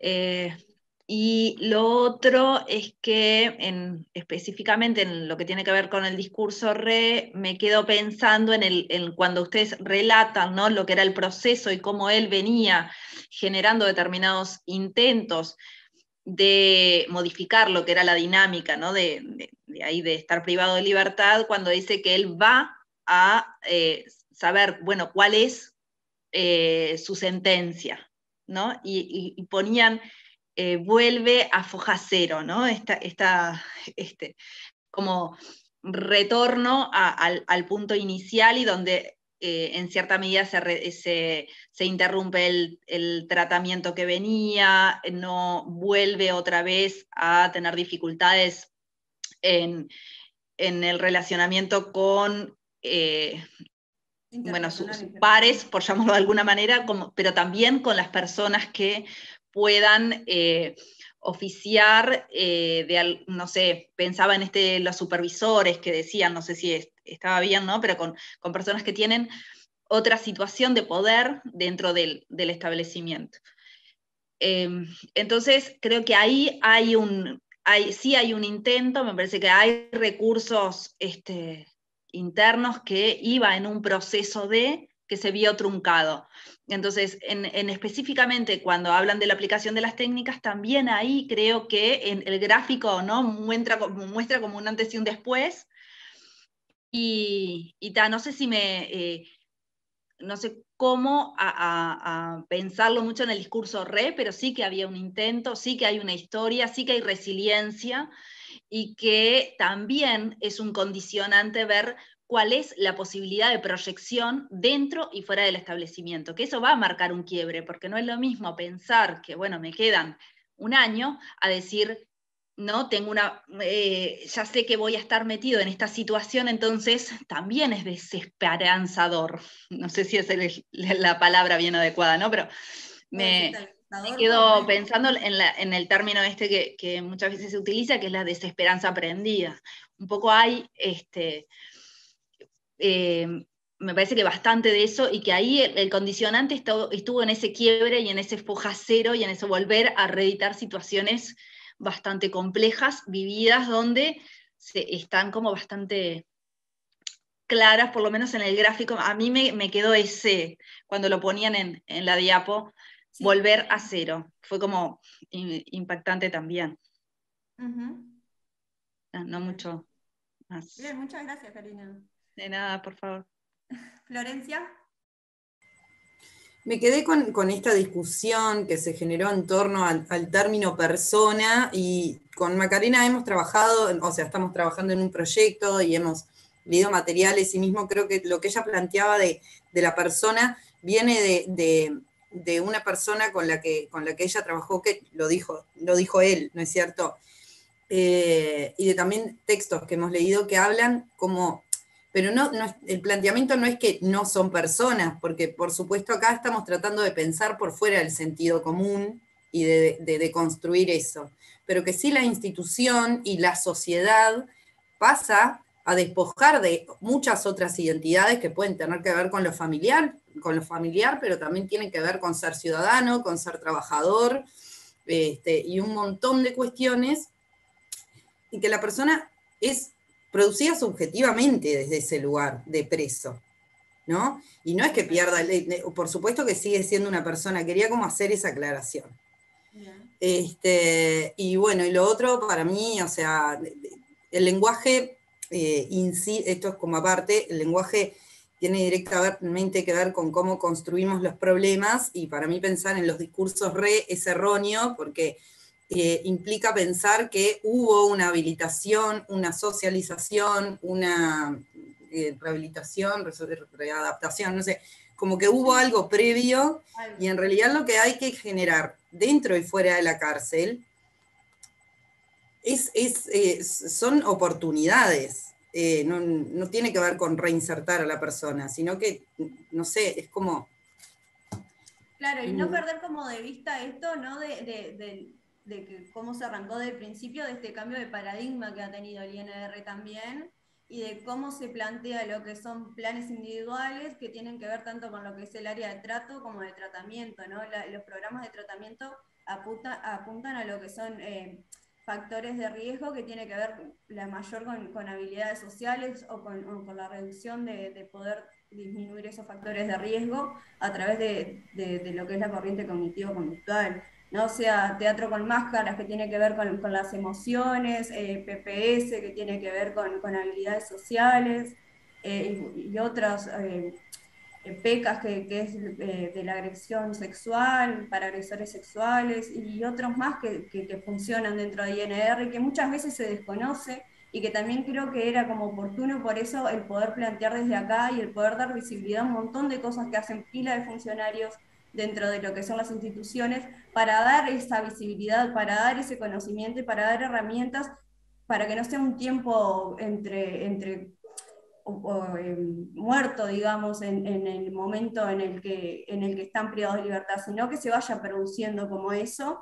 y que se puedan ir, como, como decía María Julia hoy, esto de poder reconocerse a ellos también y que un otro lo pueda reconocer a ellos. Y bueno, y después como ir implementando, que también es, eh, en el progreso se trabaja con lo que es la INALI, ¿no? que es la Dirección Nacional de Liberado, que se hacen entrevistas y poder intentar asociarlos con una afuera, para, para que puedan tener como un sostén también. Sí, Margarita. Em, bueno, sigo leyendo cosas del chat y comentarios. Magdalena comenta, creo también que en este tema, como en todos los ámbitos de aplicación de nuestra disciplina, poder reconocer cuándo podemos actuar y cuándo no, reconocer que no podemos todo. Así, como en la clínica podemos derivar, ver en estos casos cuándo podemos o no intervenir. Macarena comenta, yo creo que la clave está en habilitar a las personas y el INR debería pensar los abordajes desde esta perspectiva. El hecho de pensar en personas privadas de libertad ya permite pensar desde otro lugar. En cambio, si solo se piensa desde el lugar de preso, se pierde lo fundamental. Lo que compartí fueron palabras de una PPL, y sentires. Bien. Eh, Tania comenta algo así como regresión, ¿no? Sí, es. Yo, lo que me preguntaba con los re, eh, que va en, en, en, consonancia con eso de volver atrás o de re algo. El re, eh, eso, esto es personal. Eh, supongo que eh, los, privados de libertad hay de todo. Hay gente que cometió un error y tenía otra vida y por H o por B, pic.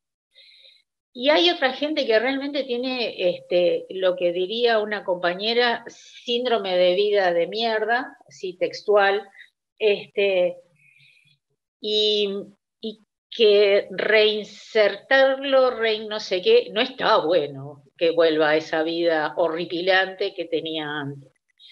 Este, entonces, me parece que hay, bueno, ahí Tania comenta que lo puso esto de la regresión cuando habló la compañera Karina, que hablaba de volver a cero a sus conductas. Eh, sí, yo e, en ese sentido me parece que también eh, es, armar otras cosas. Este, eh, lo que se vivió, se vivió y, tal, pero que también hay otras posibilidades, como estaban planteando recién, este, que me parece que eso es lo que hace al trabajo y que por supuesto no todo se puede, también el sujeto tiene sus cosas y hay cosas que, como todo, pero como en todo en la vida, uno puede hacer lo que puede hacer o hasta lo, hasta lo que el otro quiere, ¿no? ¿no? puedo ir más allá de eso. Pero este, me parece que también hay eso, el re, re así nomás, como bueno, rehabilitemos, re, son lindas palabras, pero hay que ver las historias de esta gente, digo, ya de este muchacho su historia es este, muy, muy, muy fea, este, y estoy minimizando, ¿no? Me parece que hay, este, queda como muy bobo decir muy fea. Este, tiene cosas bastante embromadas y de muy difícil procesamiento.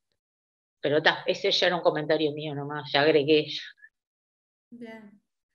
Eh, sí, con, todo esto que vienen diciendo también eran como otras de, las interrogantes que se me planteaban, como esto que decía Margarita, el, la intervención y otros compañeros, ¿no? Ese, hasta dónde es posible intervenir y también como eh, como profesional, también sea el ámbito que sea, es como decir, bueno, yo puedo hacer como lo posible, pero hasta cierto, hasta cierto punto, ¿no? Eh, bueno, llega un momento de que, de que depende también de otra múltiple, multiplicidad de factores, que, que no solo de uno como profesional, sino de...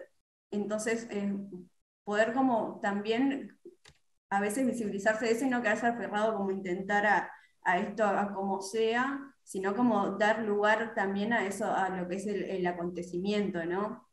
Eh, uno como, como, como, profesional, que es lo que me preguntaba es que si dentro de la privación de libertad eh, piensan que, que, se da como lugar a este, a este acontecimiento, ¿no? En, las dimensiones que, que planteas Clear, ¿no? De, de, esto como nuevo, de esto que sale de, de, lo normal, de lo que, de lo que se da, ¿no? De, lo acontecido de de sí sea tanto en lo que es la historia personal como del tiempo vivido. Entonces, eh, como en, este caso, por ejemplo, planteado de, Adán, lo que tiene que ver con, con el acontecimiento de, esta situación de, bueno, detrás su firma de, sentencia, este, este proceso nuevo que, que se empieza como a vivenciar. No sé, ¿qué les parece? ¿Y qué plan, en la misma línea que, decía Silvia hoy, por ejemplo, de algunas, de algunas cosas que ella haría, también me, como cuestionar eso, ¿no? Eh, bueno, ¿qué, otras cosas se pueden hacer entonces? Más allá de, que se, trabaja a ensayo y error y un montón de cosas, es, bueno, eh, en este caso, ¿qué, ¿qué, es lo que ustedes hubiesen optado? ¿Qué, ¿Qué, otras evaluaciones hubiesen hecho? No sé, se me, se me ocurren como eh, esas interrogantes. sí, Karina, creo que está primero, sí. Te escucho, Karina. No, no, perdón, me quedo levantado de, hoy. Ah, bien, Florencia. No sé ni cómo sacar la manito, pero no, no, gracias. Eh, yo lo que me quedé pensando es que esta persona, en esto del acontecimiento, ¿no? Va buscando algo diferente, o sea, va a consulta porque se da cuenta de que, se encuentra en una, en una situación de conflicto, de que está sufriendo y va a pedir ayuda, ¿no es cierto? Em, debe haber muchos casos así y me pregunto con qué recursos se cuenta actualmente en los establecimientos penitenciarios para cubrir este tipo de demandas, ¿no? Este, y qué podemos hacer desde la psicología, además de estar, bueno, nosotras poniendo en el cuerpo a, la, cuestión, también cómo se puede mejorar el sistema de atención en salud mental.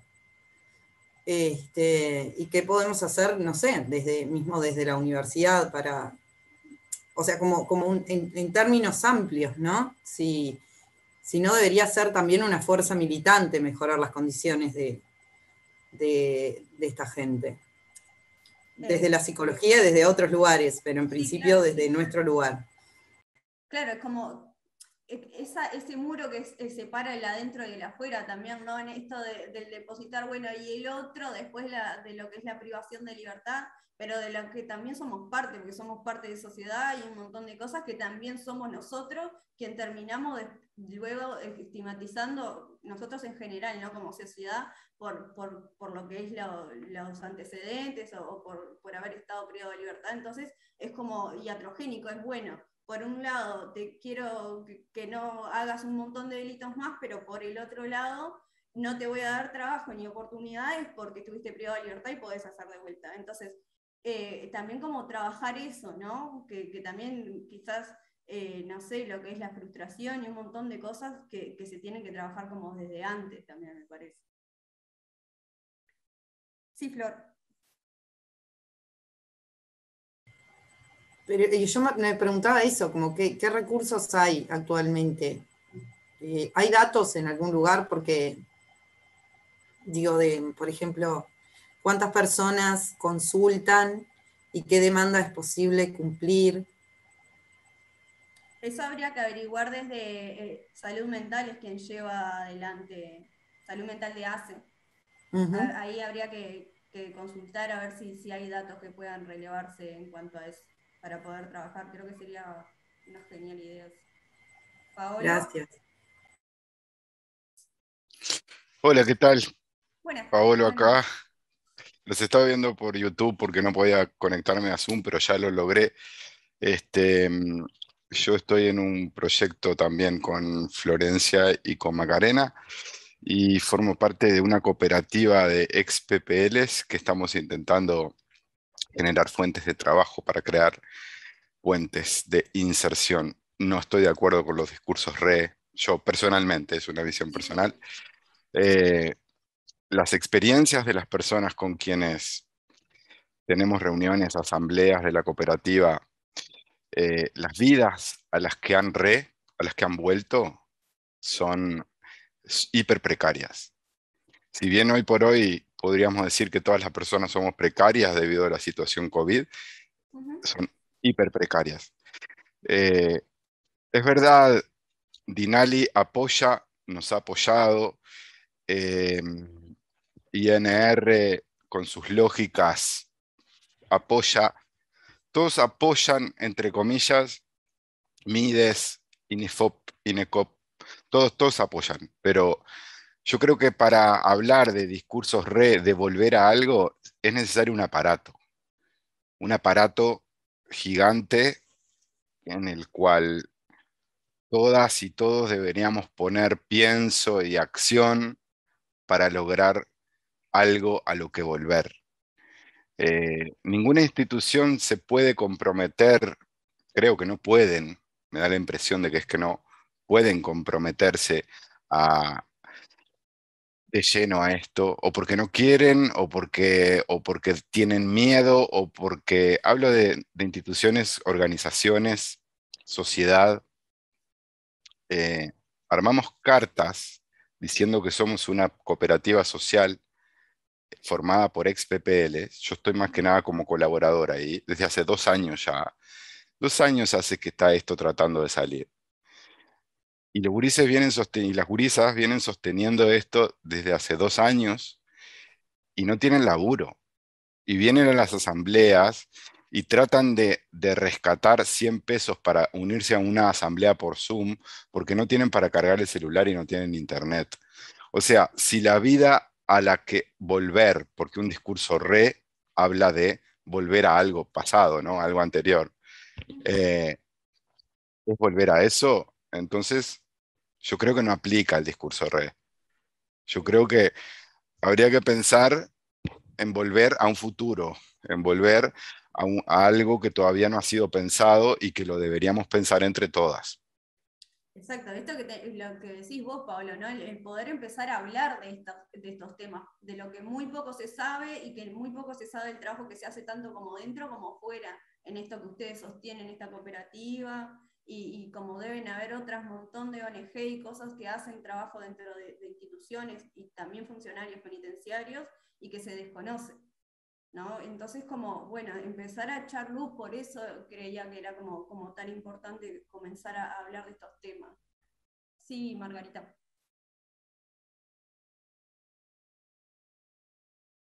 Me olvido, me olvido que apago el audio. Eh, Macarena comenta, se me hace difícil pensar en volver a algo que ya pasó, es pasado. Y después, Karen comenta muy de acuerdo con Paolo. Son los dos comentarios que hay. Bien. Victoria. No, a mí me, se me despierta acá una interrogante, ¿no? De, me parece que estamos como poniendo en el, INR, si bien este, no, estoy excusando al INR de nada, ni, pero me parece que, estamos como perdiendo el foco de, lo que es la privación de libertad, ¿no? O sea, se trabaja en privación, el INR, quienes están privados de libertad, o sea, lo que se trabaja con esas personas es el proceso de reclusión, ¿no? Este, ellos están, están recluidos por, bueno, a cumplir una pena que un juez determinó, y el INR, la responsabilidad que tiene es la del tránsito por esa pena. Que bueno, en algunas unidades se hace de mejor manera, en otras, bueno, ya sabemos que los recursos a veces este, no son los mejores y que hay, hay unidades que funcionan muy bien y otras que no. Este, pero esto de la afuera, me parece que al INR lo que le corresponde es más, bueno, tejer las redes, como decíamos, ¿no? Y después ya el afuera es algo que frustra mucho, nos frustra desde adentro, pero el afuera no nos corresponde y no tenemos, no tenemos con qué y no tenemos cómo, más que tejiendo esas redes como para que, este, después, porque a veces me parece que se genera como ese imaginario, ¿no? De que la persona entra a la cárcel y que mágicamente en la cárcel tiene que, haber soluciones para el, antes, durante y después, y en realidad, este, mucho de, de lo que pasa, muchas veces este, ellos y ellas no nos olvidemos las mujeres, ¿no? porque siempre hablamos de, ellos, este es un caso de, varón, pero en realidad la población este, carcelaria es, múltiple, este, y, bueno, que muchas veces hacen unos procesos bárbaros y un poco como decía Margarita también, ¿no? Que decía esto de que la vida afuera es, horrible y que muchas veces ellos mismos están, están, mejor y se sienten mejor adentro. Es espantoso lo que estoy diciendo, pero es real. Y, y, pensar eso, ¿no? En, que muchas veces, bueno, hacen unos procesos bárbaros, trabajan, estudian todo y después cuando salen no lo pueden sostener, no porque no quieran, sino porque no tienen cómo. Porque sobre todo las mujeres salen y se encuentran con que tienen cinco hijos que alimentar, que están tirados uno por cada lado y bueno, de alguna manera, y lamentablemente, fallamos como país ahí en, sostener eso, ¿no? Pero me parece que excede a, la privación de libertad. Eso Totalmente. Por eso me parece que, era como importante esto de, trascender lo que es la privación de libertad y el poder hacernos cargo como, como sociedad y empezar a visibilizar esto y bueno, y tejer redes, como decía Paolo, a, nivel más general y hablar de estas temáticas, de, más allá de lo que sea la privación de libertad en ese proceso, sea corto o largo proceso, lo que tenga que ver es, bueno, como sociedad, entonces, ¿qué podemos hacer? ¿no? Sin depositar siempre en alguien, sino en todos, que somos lo que formamos parte de esta sociedad. Margarita.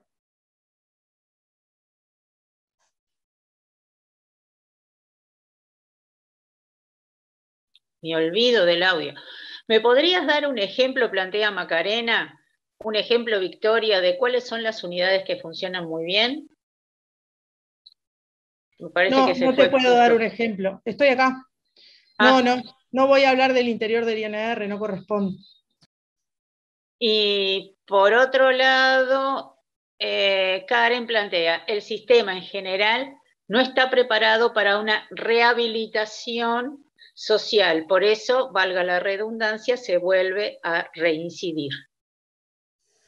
Más allá de todo, gente, la discusión está buenaza, pero em, ya son 21 a 17, esto se suponía que tenía que haber terminado, y creo que no le diste todavía el cierre, Fernanda. Em, lamento cortar la cosa, pero este, está buena la discusión, está muy buena, pero bueno, también hay gente que, tenemos vida y todos ustedes por ahí hay vida llamando a los gritos, así que mejor que vayamos dando un cierre. Bien, no, eh, creo que, casi todo como que se ha, se ha, tocado en un momento u otro, sin, ser propiamente dicho las interrogantes que me hacía.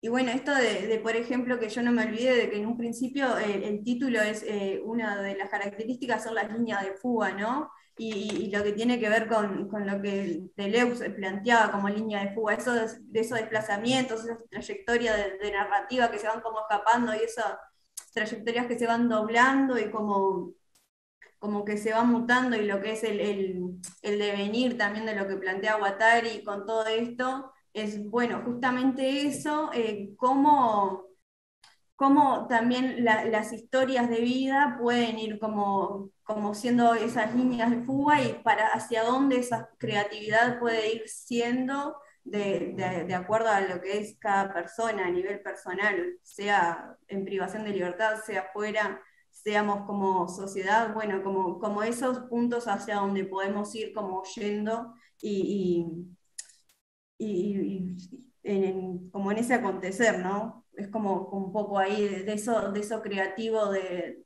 lo que es la, esas líneas de, poder y en cierta parte de resistencia a veces, de, intentarlo, como, como decía, el, el comprender, intentar comprender como el cuadro, el cuadro completo, ¿no? De estar conectado, la, la construcción de líneas que, tratan de escape de, restringir sin, sin restringir este sentido.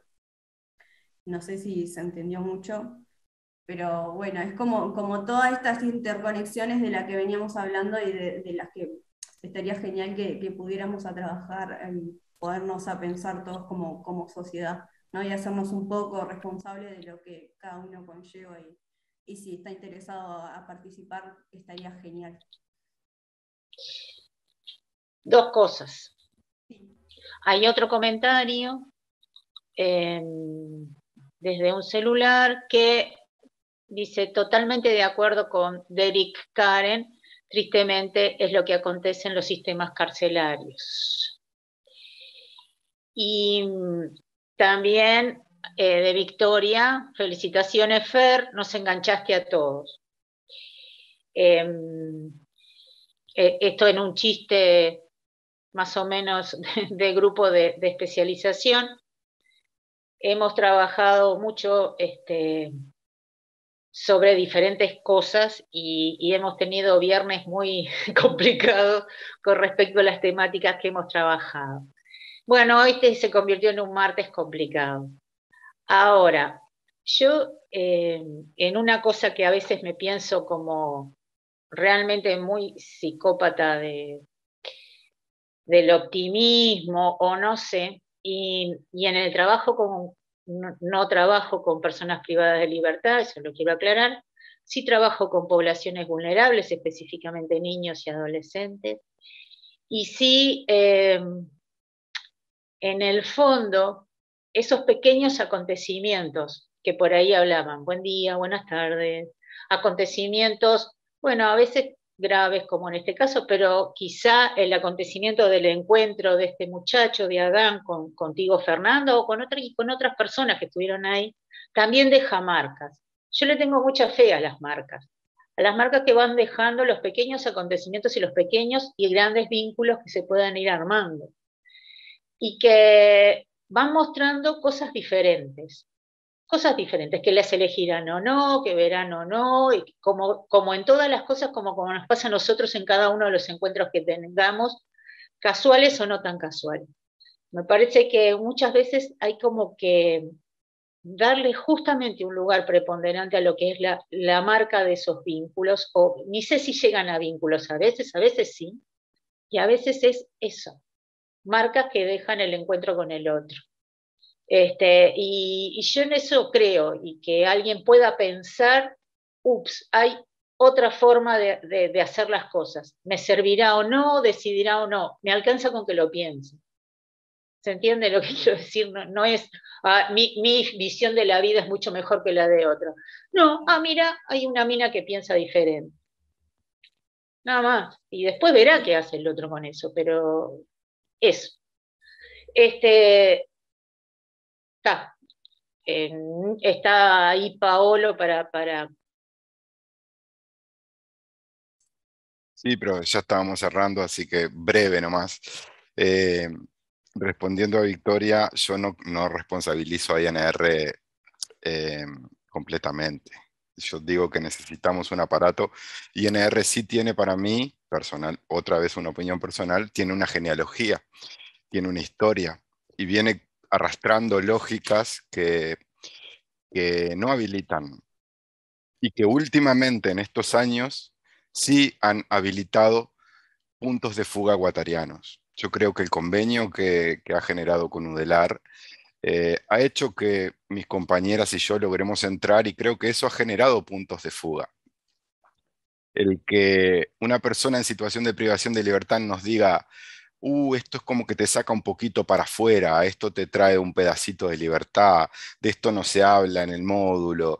Eso es un punto de fuga. El, el poder pensarse desde otro lugar, ojo, y mis compañeras y yo también nos logramos pensar desde otro lugar, desde el lugar del encierro y de qué encierros simbólicos formamos parte. Yo creo que eso sí lo ha logrado habilitar INR, porque sin la habilitación de INR nosotros no podríamos haber hecho, no podríamos haber tenido esas experiencias. Creo que en los 90 era impensable esto. Hoy por hoy es posible. Comprometo sí o me parece que debería responsabilizarse mucho más el Poder Judicial, que simplemente manda gente para adentro y se olvida, quedan ahí, encerradas y encerrados. Eh, no digo que toda la responsabilidad vaya para ahí, para mí la responsabilidad, o sea, eh, etimológicamente hablando, la habilidad de responder debería ser de todas y de todos, debería ser de todas las instituciones y de toda la sociedad y de todos nosotros incluidos. De eso, ahí está la responsabilidad. Eh, no responsabilizo a INR y sí responsabilizo a todo el mundo, y, me incluyo yo.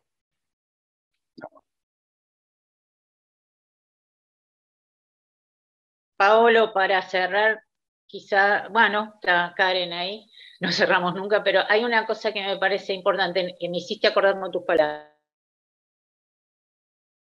Te silenciaste, Margarita, te silenciaste ah. sola. No, en estos días se está discutiendo, tus palabras me hicieron acordar a eso, no iba a hablar más. Este, eso fue lo que dije. Y mm, en estos días se discute mucho en la universidad y en la facultad específicamente sobre cómo van a ser los cursos el año que viene, si virtuales, si presenciales, si miti miti, o híbridos, o no sé qué. Y una de las tantas cosas que hay, que bueno, que la gente de no sé dónde, que la gente, bueno, pero entre la gente de no sé dónde que pide la virtualidad son justamente los estudiantes de INR. Y ah, eso está hablando de, un lugar que ustedes están construyendo y que no es menor. este, digo, la están luchando, mandan cartas y cosas y yo qué sé qué, este, como los de otros, o mails, no sé qué mandan, pero sé que se nombra sistemáticamente eh, dentro del listado de la gente que está pidiendo continuar con la virtualidad o una forma híbrida, es justamente la gente de INR. Y me parece importante destacárselos también, nada más. Yo no, sé, en, ese sentido, perdón que están cerrando, pero no sé si se logró mucho con la virtualidad, porque, por ejemplo, en la cárcel con la que nosotras tenemos contacto, la comunidad educativa estuvo cerrada, que es donde, donde ellos tienen acceso a Internet y a las computadoras. Entonces, eh, estuvo cerrado desde marzo hasta hace, hasta hace poco. Es como hay cosas que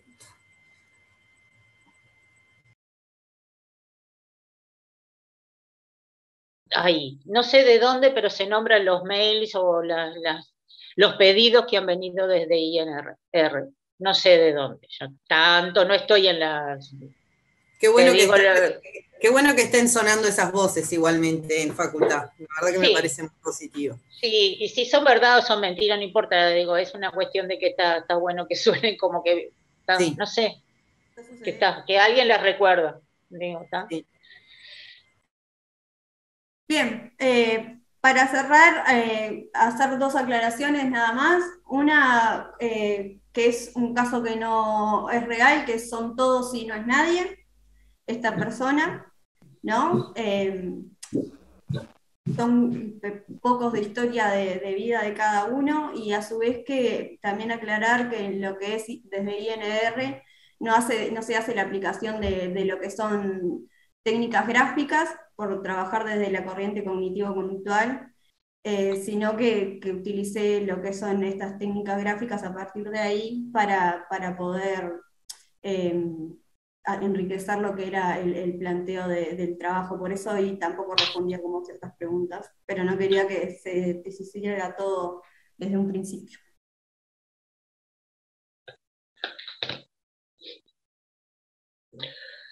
Bueno, Fernanda, este, te recibiste acá un montón de gracias y felicitaciones y muy interesante, una charla accesible e interesante, saludos y, de todo un poco, de mucha gente.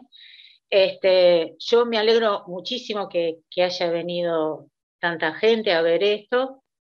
Eh, es mucho esfuerzo para quien lo prepara, digo, realmente es mucho esfuerzo, llevamos, creo que un par de meses llevaste en armar, o más, más, en armar esto, yo pierdo un poco la noción a esta altura.